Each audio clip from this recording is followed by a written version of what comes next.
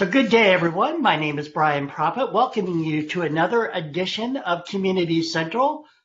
Really excited about uh, today's uh, topic, and we'll get to that in just a second. But the usual housekeeping notes for those of you who are new to Community Central, we will have a Q&A uh, portion of the program after our panelists have had a chance to kind of go into their project and discuss it a little bit, maybe show it off. Um, when that happens, we'll we'll read your your questions to the panel um, in the uh, order of most voted. So definitely use the Q and A tool. Put your questions in there and vote on the ones you most want to hear about, and we'll get to those later in the session. So without any further ado, I'm pleased to have with us four members of the Red Hat Community Gaming of Practice. We're going to be talking about a really cool new project that Red Hat has launched recently called the Red Hat Arcade.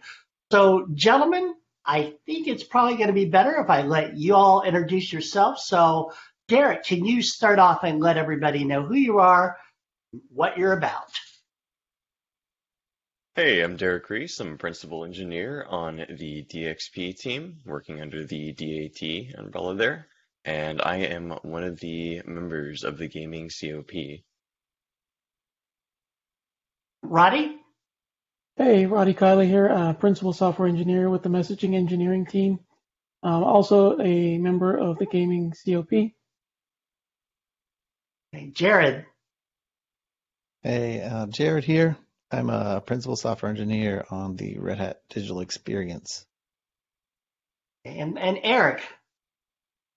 Hello, I'm Erik Jacobs. I am a Senior Manager on the Cloud Platforms Technical technical marketing team and obviously the least intelligent of everybody on this call today. Oh, well, thank you. Well, I'm sure that's not true because I'm here, so it's all good. Um, so we'll get started because I'm really, you know, I'm, I'm very excited. I even wore my, my Zelda Breath of the Wild Starry Night shirt. So I'm in the groove here.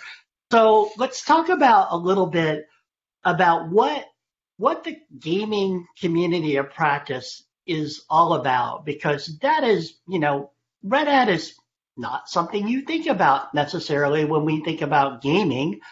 So, um, if one of you can kind of get us started and kind of explain why did the COP sort of come about in the first place?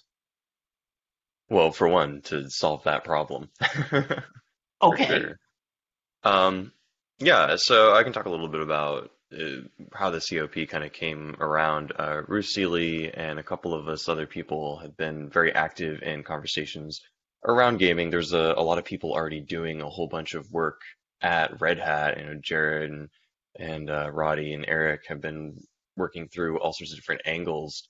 And we realized that there was a really strong community that already existed here that had a lot of expertise, that had even real industry experience, and could be brought to the table to help with some of the opportunities that we felt maybe that we were missing with some of our clients. I'm going to hand it off to Jared to talk a little bit about some of the stuff that kind of happened up until the gaming COP was formed. Yeah, sure. So for the past, uh, I don't know, probably four years or so, um, we have had more and more opportunities to use gaming as a way of um, telling our story, I guess, to to people. Um, it started out really at Summit, uh, where we wanted to have fun, interactive booths for people to come um, and play a game, and maybe at the same time learn about something related to Red Hat. Um, for example, we made a a game about the Red Hat customer portal called Engage, and you would move this portal around on a monitor by waving your hand over a Leap controller. Um, that's just one example, and then uh, and then there were other things like the, the Command Line Hero arcade, like Command Line Hero is a podcast that Red Hat produces, and um, they wanted to have a fun uh, game in their booth, so we made these uh, arcade cabinets. We made a, a game called Command Line Heroes Bash for that, where you just enter as many Linux commands as you can think of in 60 seconds as fast as possible and uh, try to get the high score. And that um, that was you know really popular. People really had fun with it. You wouldn't think it would be fun, but that actually is really fun when you play it. Um, so that is like so. I guess that's kind of background. That's kind of over like the past four years or so. We've had many t- opportunities to create games at events, and then also like really cool visualizations and demos at like keynotes and stuff um, that involve animation and games and stuff like that. So, um, and then and then Roddy, like the most recent one that we did custom um, was a Pod Escape for uh, that was supposed to be at at Summit 2020, right? Yeah. Um, uh, and and and uh, IBM Think, um, and uh, but then it, it ended up going virtual. But um, so these were like all the games we've we've made over the the past, and then then we kind of um, joined up with Derek and people on and Ruth um, and became part of the gaming COP. And now we have both like internal game development that we do at Red Hat for Red Hat specific projects and stuff, uh, mostly events. Uh, and then and then also using our expertise, like Derek said, to help out, you know, our clients in the gaming industry or opportunities that we might have um, with uh, Red Hat in that industry. So Yeah, so I'll Yeah. just jump in there. Um, so as Jared was alluding to, like there's a lot of experience and talent from the game industry here at Red Hat, and people ranging from indies who are interested and maybe trying to get their first game created um, and completed, to people who have you know years of actual experience in shipping AAA titles. So the whole reason that I'm here is basically because Jared reached out to to a mailing list and said, "Hey, we need some group of people create this thing for Summit, uh, an edutainment title to kind of use gaming as a vehicle for teaching people about Kubernetes and OpenShift. Is there anybody out there with those kinds of skills? Because I think you know Jared and the number of people that were already involved were pretty heavily taxed. Because as we know, people here are tend to be pretty busy. Um, so a bunch of us said, "Hey, yeah, you know, we have those skills." Um, and so I think basically a little process went by where the events team and Jared uh, presented to us saying, "This is our vision. This is like what we would like to see." And Jared could actually say, "Well, you know, I've done this before, and this is kind of how how it goes." And so there was a group of us uh, selected to attend the meeting who seemed to have the right skills. Uh, and as it turned out, in my case, I ended up just kind of being the glue.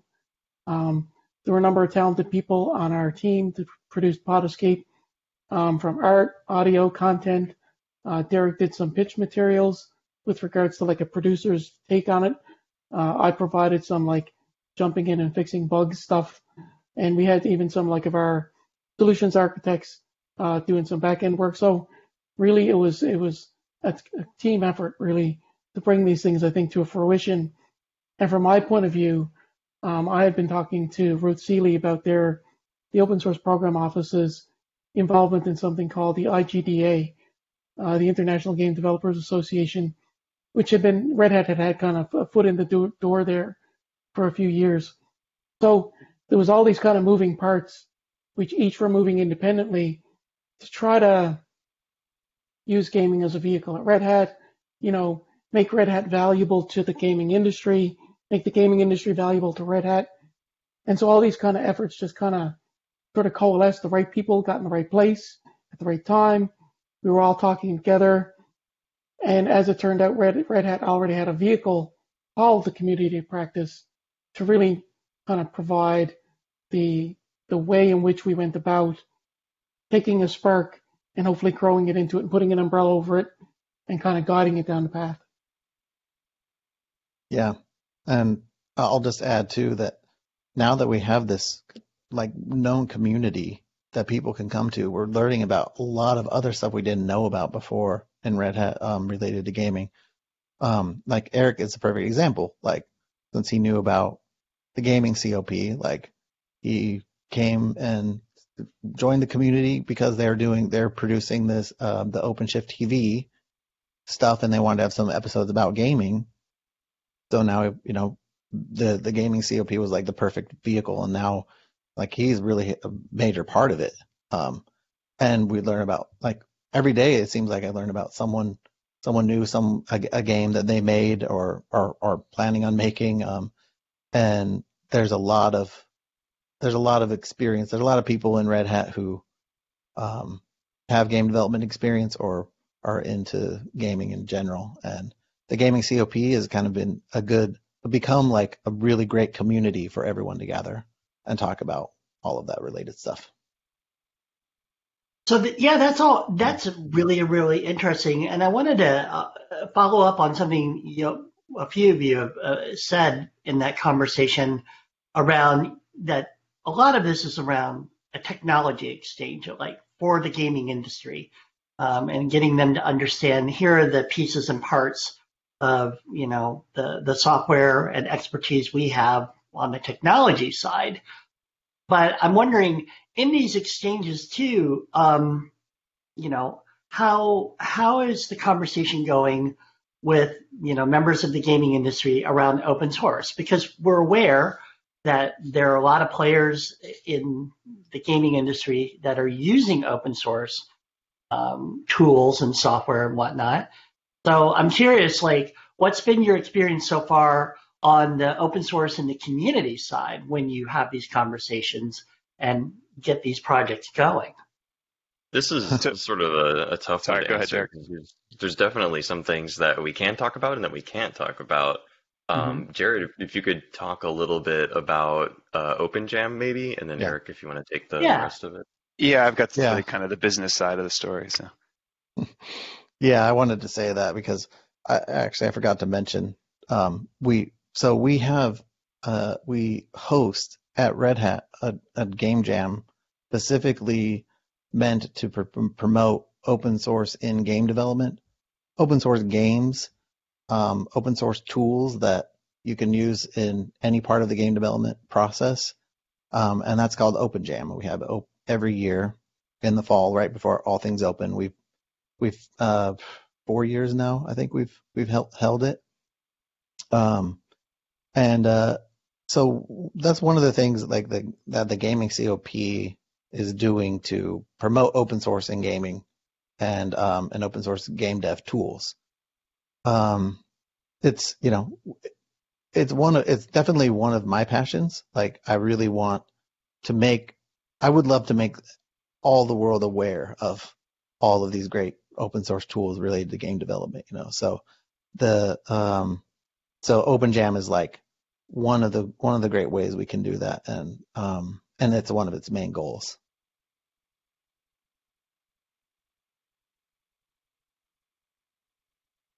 Erik, you're muted. Unfortunately, yes. Thanks. Uh, on the business side, um, you know, the story is a little bit interesting. So, as Brian alluded to, you know, there is a lot of use of open source in gaming, um, but there's a little bit of what I refer to as the hundred dollar bill cigar problem. And so, a lot of these gaming companies have lots of money, especially the ones that are doing really well, your, your AAA's. And um, Red Hat's traditional value proposition is commoditization of open source, making it accessible um, you know, supported. Uh, it's kind of like an insurance model. You know, we're, we're sort of selling insurance here. Um, that doesn't mean we're doing. That doesn't mean what we do is bad. It's just that's sort of the value proposition.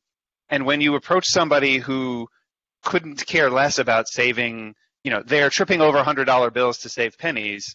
Um, they don't they don't really care about that value proposition to a certain extent. And when your business is founded essentially in a core of building software yourself and and that is your intellectual property as you see it you you get in a, this weird situation where they're not super interested in talking to red hat because everything we sell they're like oh yeah we could just build that ourselves.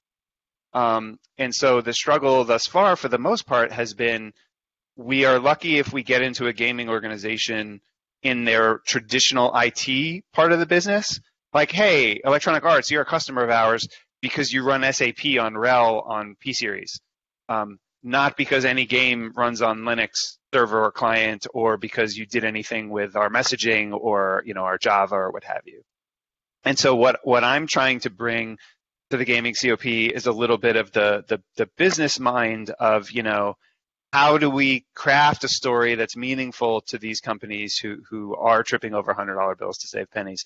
Um, how do we adjust our product roadmaps and trajectories to ensure that the things that the gaming companies actually care about are reflected in the features and capabilities of some of our products. And a perfect example, um, UDP for most active games like first person type shooters, multiplayer games, that's the traffic type that they use. They do not use TCP for various reasons, technical.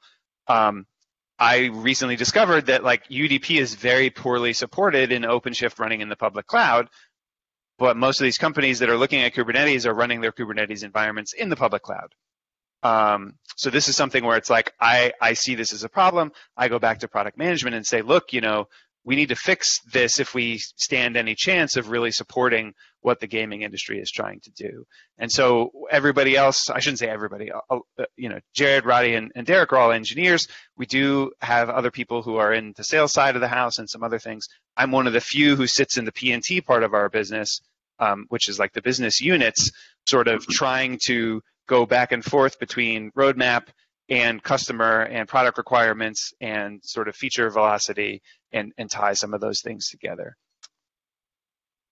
No, that's really interesting. And, and both great insights.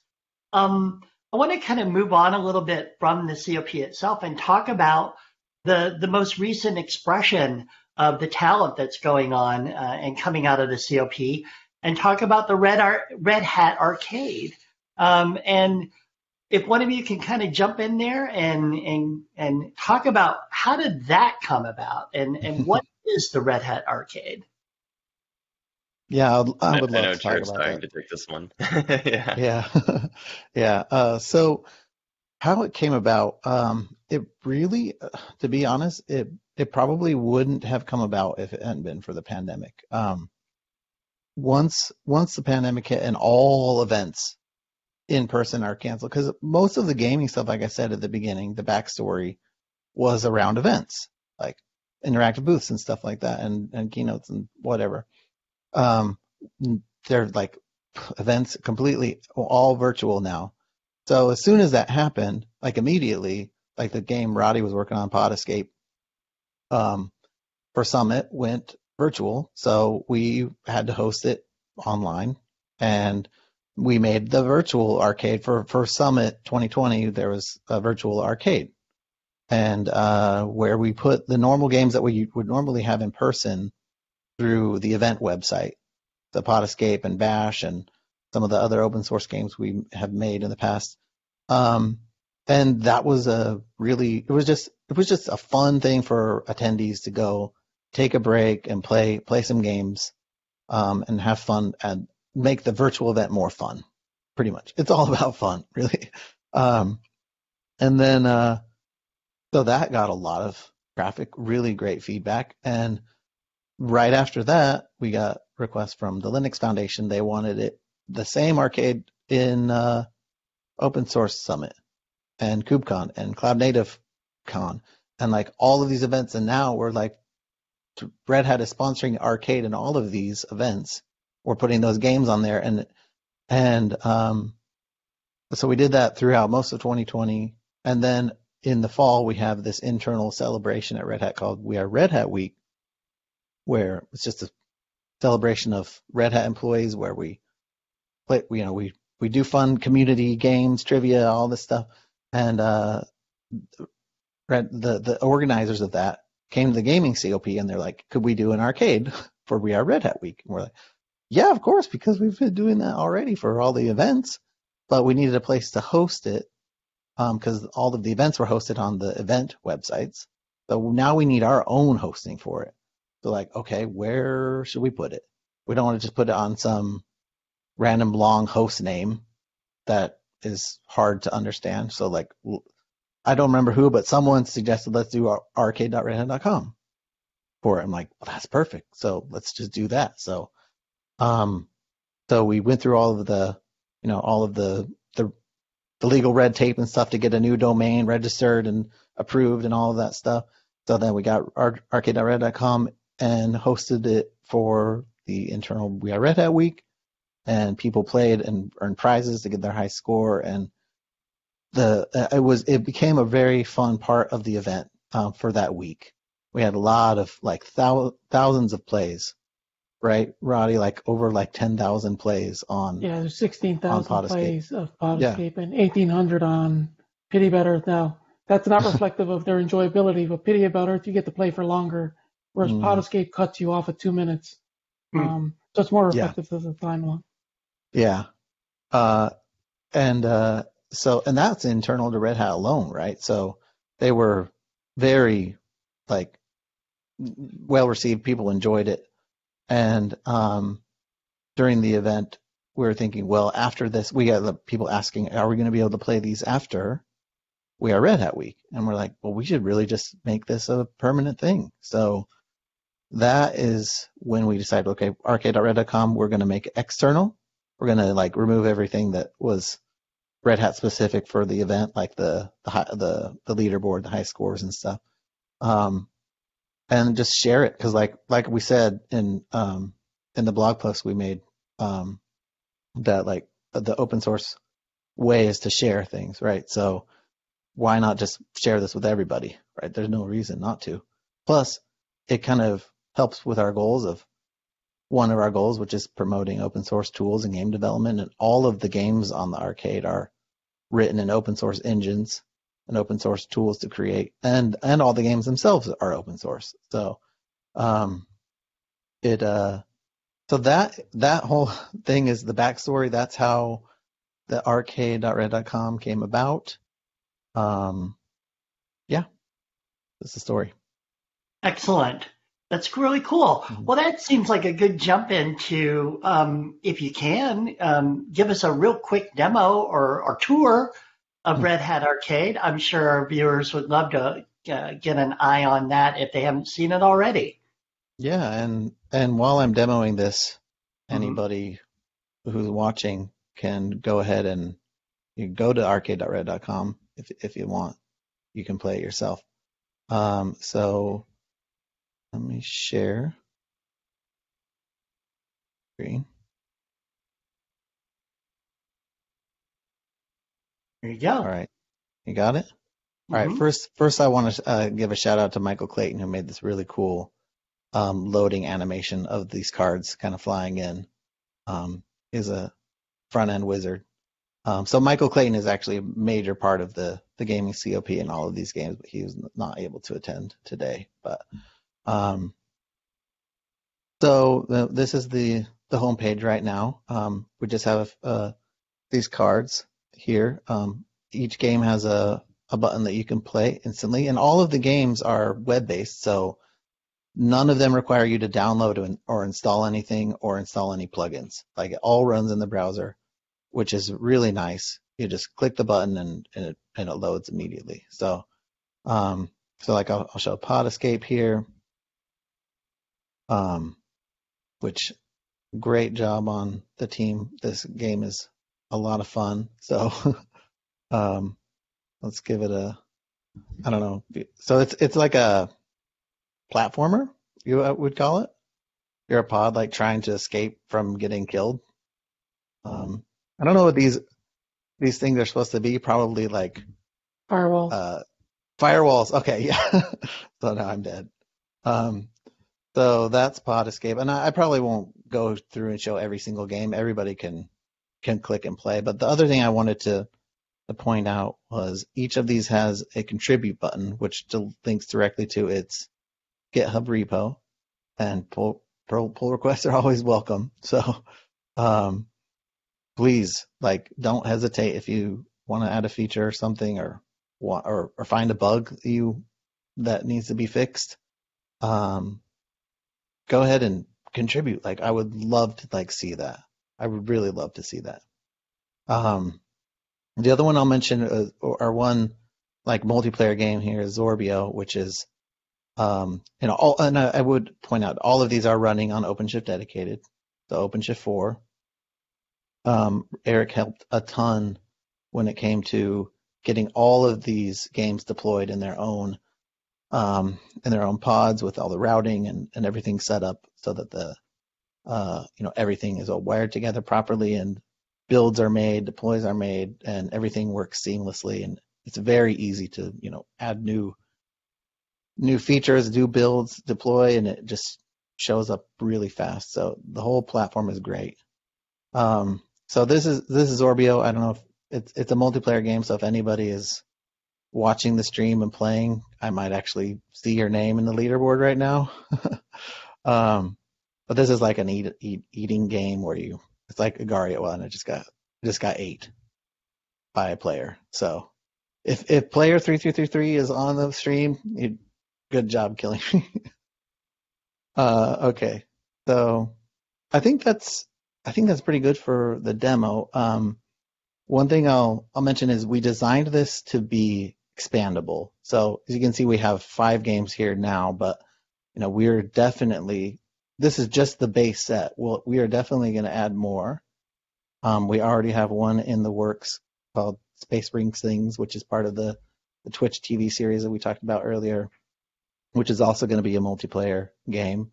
Um, and then I wanted to mention too that I I'm on the hunt for for good games from Red Hatters. I found I discovered one uh, from a, a guy uh, named Sa- uh, Saad, I think. He's um, he actually re- submitted a game to JS13K Jam, and he works at Red Hat, and it got very like high. It got in the top ten, and there's a lot of games that get submitted to that. But it's the whole game is less than 13 kilobytes, and it's a WebGL game, and it's a puzzle game, and it's awesome. And so expect to see that game showing up here if I can find him and he'll give me permission to, to do it. But um, so I'm coming I'm coming for that. So just so you know. But yeah, so that is that's pretty much it for the demo. Thank you very much, Jared. It looks fantastic. Um, and with that, I think it's a, probably a good time to kind of jump into the Q and A. We've got a few, quite a few questions that have rolled in. The first one um, is from Justin, who basically says, and this got a lot of votes. A lot of people are interested in the gaming uh, COP. So, what's the best way for them to get involved? Well, if they're internal to Red Hat, um, you know, of course, it's open to everyone at Red Hat to participate, mm-hmm. and it's it's one of those things where you know we're supporting industry verticals, we're consulting on calls, so we have a source page, we have an internal wiki page um, that I think has been linked out previously, where you can find our mailing list, you can find our weekly uh, strategy calls, uh, you can find our Google chat, and all of our other internal resources and tools that are available. Uh, if you are external to Red Hat, get in touch with your sales rep. They will be able to reach out to us and get us in on a call with you and help you collaborate and work through the problem space that you're looking at. And then let me let me follow up with that, Derek, a little bit too. You know, Jared had mentioned that you know a lot of these things are open source and out there. You know, for people who might not be interested in a business connection with Red Hat and more, more interested in the community development side, um, you know, is there a open repo or organization out there where they can come in and kind of contribute to the Red Hat Arcade, as Jared had mentioned, or be involved in other ways? Uh, Jared, well, all, if you want to talk all of, about uh, yes. Yeah.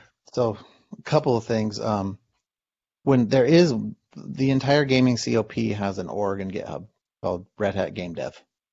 All of the all of the gaming created stuff is in there. So that is open to the public. Like anyone outside of Red Hat could come and contribute to get involved in those games. Um, and in fact, SRT was like we I think we usually put out a call for that.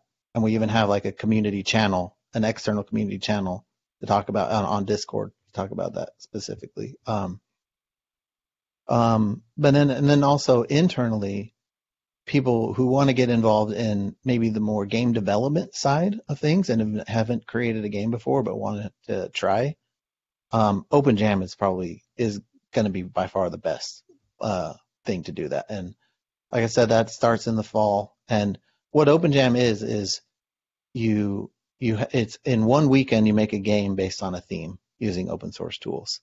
So it kind of forces you to well, it gives you an it, it makes it easy for if you're intimidated or you've always wanted to make a game but maybe were intimidated by the size of it, it it helps because it limits the scope because there's a theme, and um, it gives you a time limit. So you, you don't have to like invest a ton of time. It's just it's a one weekend event and then and then it's over. So it's a great way to like get involved. And and then you know or if you're a very experienced game dev and you want to make an awesome game in game jam you'll definitely get noticed by us. Like and maybe even your game would get pulled into the into the arcade arcade.red.com so um so that is a i think that that is another way of uh, people who want to get involved in the gaming cop And I appreciate it. Yeah, thank Yeah. you for addressing both sides of that coin. And we, for everyone here, we will definitely have the appropriate links um, in the video source for people who are watching this recording later. So uh, stay tuned for those and check those links out, both for people in Red Hat and those of you from the public who are watching today. So we'll move on to the next question from Eric. Um, and I think this is something we can touch on he he asks, with the advent of virtual streaming services for gaming like Stadia, Nvidia Shield, etc., how can Red Hat provide digital solutions to these or similar service providers? How are we driving the future of gaming as a distributed service? Uh, Erik, if you want to take that one, if you're comfortable. Yeah, so this this ties very directly back to the sort of business level conversation that that I mentioned earlier. Um, and so if we go through that list, right? Uh, let's see. Why can I not? Ah, here we go. So uh, Stadia, that's Google, right? Yeah, they're not they're not buying anything from us, right? They're definitely like the epitome of build everything themselves. Yeah. Uh, Nvidia, uh, they don't really they partner with us on a lot of things, but like they have a lot of people at Nvidia that work on Kubernetes stuff. So they're they're also unlikely to be buying anything from us en masse. And so as you go on down that list of the companies that are doing these things, like whether they're providing gaming as a service, streaming, like underpinning backends. So another example is um, the company behind either Unity or Unreal, but you know they offer lots of hosted services that are SaaS solutions that gaming developers can use, like built-in messaging to add chat to your game, or you know player, uh, sorry, server uh, scheduling uh, and things like that. Like again, these are companies that were steeped in software development, so they just build everything themselves. Um, and so you know the specific question, how are we driving the future of gaming as a distributed service? Like we're not directly with product, but the places that Red Hat does interesting things like work that we do upstream in Kubernetes, work that we do upstream with Artemis and, and messaging, work that we do upstream in, you know, the, the Linux kernel uh, and et cetera, right? Uh, those are things that are indirectly driving the future of gaming as a distributed service, but, you know, Red Hat has yet to really capitalize on those financially in any in any large way. Okay, great. Yeah. Thank you for uh, answering that question. Sure. So I'll go to the one from iQute. I, if I, sorry if I mangled that name. Does the community include gamification, which is not generally considered as gaming, but frequently shares the same context as both are related to many common things like psychology and sociology and things like that? Yes, absolutely. Um, and I'll, I'll let Roddy take the second half of this. Uh, the first half of it, though, is we're already doing that. We already help provide those type of consultancy services and expertise. And the big area that we've already seen realizations and gains is in some of our efforts to interact with kids and the education community.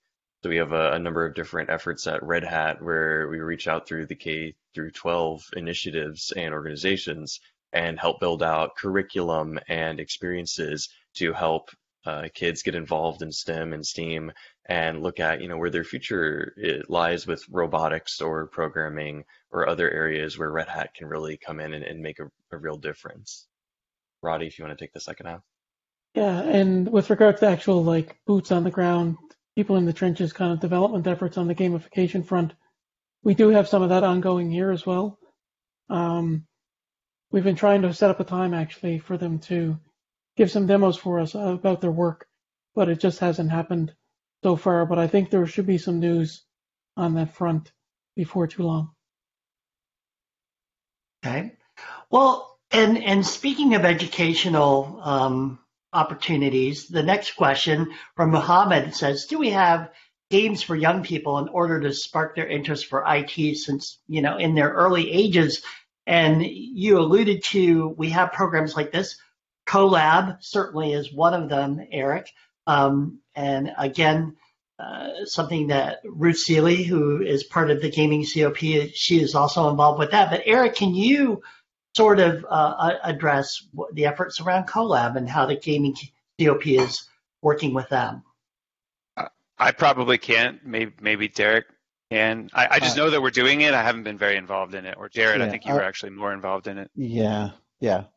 With, okay. Of course, Ruth was the most involved, but without right. her being here, I can talk a little bit about. Yeah. Um. So yeah, we were, um, and we, there was another another guy, um, Red Hat, um, who made a really cool um, microservices based adventure game builder that runs on OpenShift, and um, it was adapted to uh, be uh, an adventure game based on a CoLab um, booklet where they had to like these young kids had to escape from a basement and like solve puzzles and stuff. And they, uh, so Ruth and, and Ozzy, the, the, the other guy who built that, um, did a lot of work to adapt that for CoLab so that they could learn more about learn more about game development, learn more about IT, learn more about coding in general. Um, and so that yeah, so I, I think that's the short answer um, and as much as I know, they could give more detail, but it definitely was a way that we were trying to help um, educate kids about coding and IT and and uh, tech using games. Yeah, and I had an opportunity to beta help beta test that, and it was really a cool uh, game and a neat presentation by that team. Okay, so we'll move on. Um, so John asks, what are the profiles of games you you want recommendations on? Recommendations and what it? Yeah, um, I, I, I, I, think I, am not sure if you did recommendations for contributions or things like that, like as you go. Right, as far as maybe recommendations to be included in the arcade.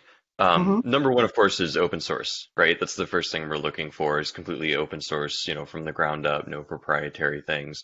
So uh, stuff like OpenSage, where it's meant to run like a proprietary format and it's just a recreation, wouldn't really be a good fit for us. Um, but stuff that's made completely from the scratch and in open source, and especially for the web specifically, are great fits. If you're a Red Hatter and you've got a you know an indie game and you're thinking about know, just open sourcing it and putting it out there on the web, uh, that would be an amazing fit. If you're not a Red Hatter and you're still working on some sort of open source game and you want to collaborate with the community, like absolutely, yes, uh, we're on the GitHub, you know, organization there. Reach out to us, and that'd be something we'd love to have a conversation about.